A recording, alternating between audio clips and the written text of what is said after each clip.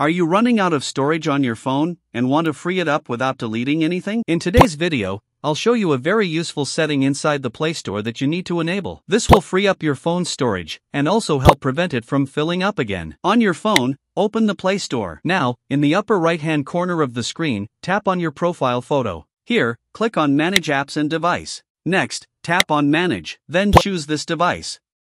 Here, you can select Not Installed.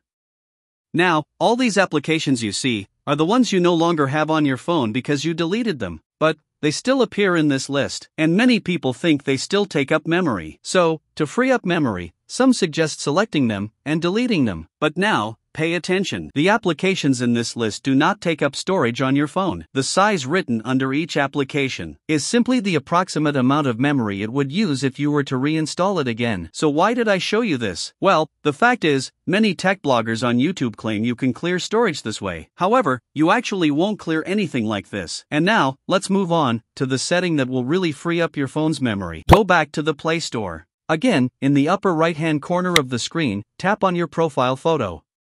Now scroll down and tap on Settings. Select General. Scroll down just a little until you find Automatically Archive Apps. Turn this feature on.